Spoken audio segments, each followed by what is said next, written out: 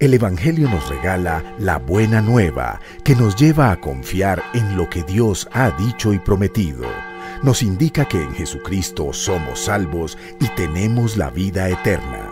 El Centro de Comunicaciones de la Diócesis de Armenia les anuncia y predica el Evangelio de hoy. Del Santo Evangelio según San Marcos. En aquel tiempo, Jesús y sus discípulos llegaron a la otra orilla del mar, a la región de los Gerasenos. Apenas desembarcó le salió el encuentro de entre los sepulcros un hombre poseído de espíritu inmundo, y es que vivía entre los sepulcros, ni con cadenas podía ya nadie sujetarlo. Muchas veces lo habían sujetado con cepos y cadenas, pero él rompía las cadenas y destrozaba los cepos y nadie tenía fuerza para dominarlo.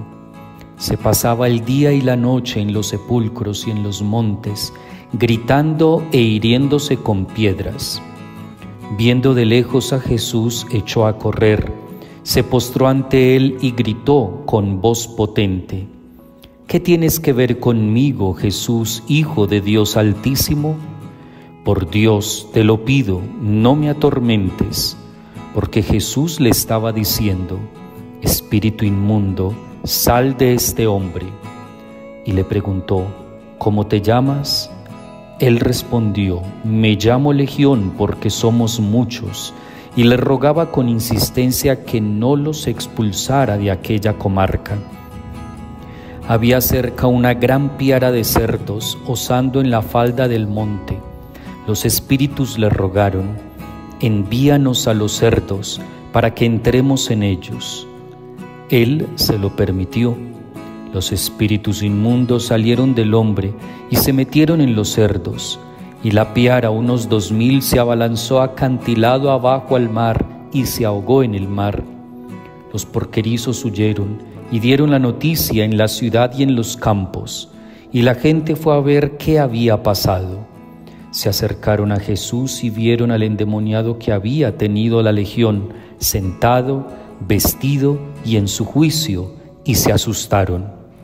Los que lo habían visto le contaron lo que había pasado al endemoniado y a los cerdos.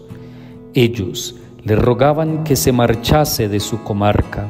Mientras embarcaba, el que había estado poseído por el demonio le pidió que le permitiese estar con él pero no se lo permitió, sino que le dijo, vete a casa con los tuyos y anúnciales lo que el Señor ha hecho contigo y que ha tenido misericordia de ti.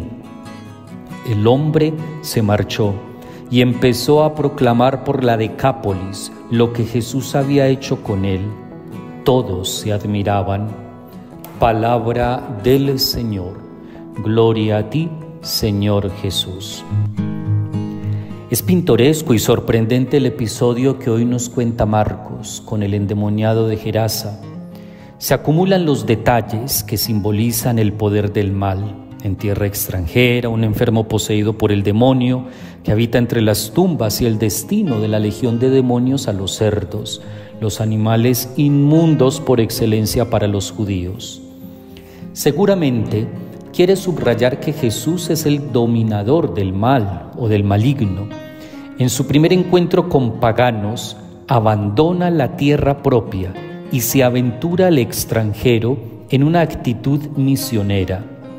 Jesús libera al hombre de sus males corporales y anímicos.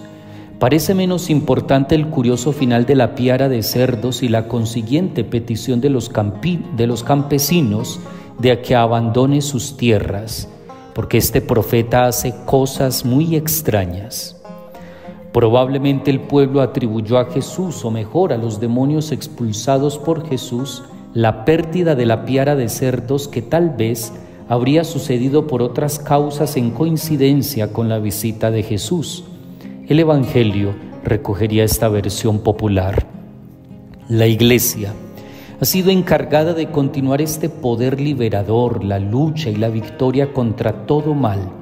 Para eso anuncia la buena nueva y celebra los sacramentos que nos comunican la vida de Cristo y nos reconcilian con Dios.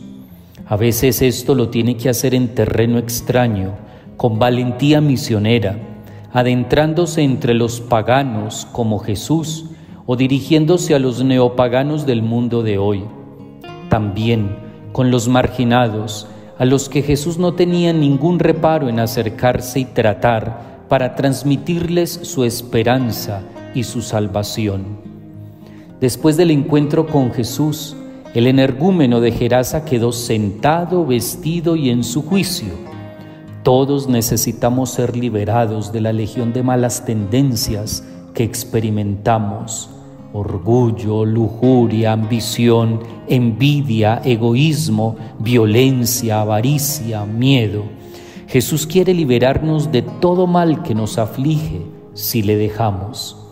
¿De verdad queremos ser salvados?